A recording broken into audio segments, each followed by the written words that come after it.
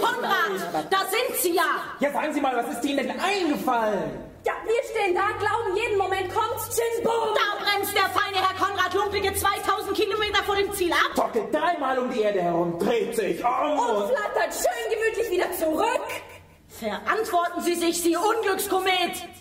Ach was, der hat einfach Angst gehabt, hat der. Verzeihen schon, ich muss ihn in Schutz nehmen. Er hat sich gedacht, ein Zusammenprall ist eh überflüssig. Die Menschen rotten einander sowieso über kurz oder lang aus. Na stimmt's, Herr Konrad?